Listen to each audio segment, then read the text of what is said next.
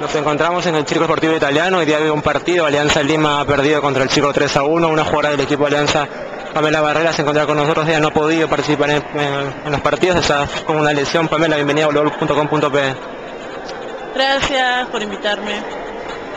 Ah, Estás con una lesión en estos días. Sí, estoy con Condromalacia y no puedo jugar ahorita porque me duele mucho, pero me estoy cuidando, estoy haciendo tratamientos, estoy haciendo mis terapias y estoy haciendo fortalecimiento para poder jugar. Eh, la lesión que te han determinado, que nos acabas de indicar, ¿para cuánto tiempo tendrá en para para ti? Ahorita vamos a ver, porque, o sea, ahorita me duele bastante. Si fuera por mí, yo estaría en la casa, ya tú sabes. O sea, eh, o sea, es muy difícil porque yo sé que, que me necesitan y pucha, yo daría todo por dar, por estar ahí, pero tengo que cuidarme, pues primero es mi salud. Estamos viendo un tiempo de cambio en el voleibol peruano, en la llegada del nuevo entrenador, Chico Santos, este, ha venido a observar el nivel de ustedes, estuvo viendo partidos entre juveniles y menores. ¿Qué piensas tú de esa nueva etapa que nos viene? Lamentablemente no pudimos clasificar a las Olimpiadas, este, nos quedamos muy lejos esta vez. ¿Qué viene, qué viene para ti? ¿Cómo, cómo ves esa etapa del voleibol en el futuro? Va a ser bien fuerte.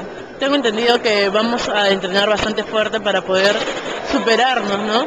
Ahora ese periodo va a ser, o sea, no se sabe si va se va a llegar porque recién es nuevo y vamos a ver cómo vamos a hacer, pero se nota que va a haber bastantes cambios, dentro y fuera. Este año ha sido una muy buena oportunidad para ti. Te vimos jugando en menores el año pasado y este año has podido viajar a Japón con la selección de mayores. Has estado buscando el cupo olímpico en el equipo y has tenido la oportunidad de jugar en mayores también.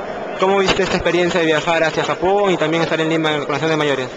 Me ha enseñado bastante. Con las chicas he aprendido un montón porque ellas me, me ayudaban, me, me aconsejaban y eso pues me ha servido mucho para mi juego y para como persona, pues para mejorar como persona.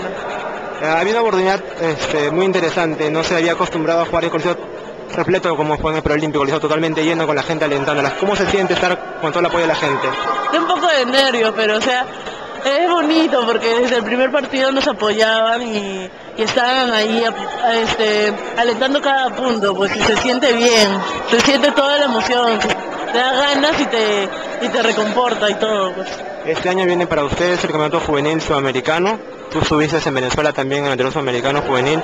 Nos fue un poco mal esa vez, ¿no? El equipo era muy joven todavía y ahora vamos a intentar hacerlo mejor tal vez. Sí, vamos a dar todo de nosotras, eso tengo de hecho, y vamos a esforzarnos un montón para, si es que no se puede quedar bien, o sea, dejar todo en la cancha, que eso es lo que se quiere. Bueno, esperemos que tu lesión este, progrese y te volvamos nuevamente en la cancha y Alianza Lima seguramente estará feliz de verte nuevamente. Gracias, gracias. Tranquila. Gracias.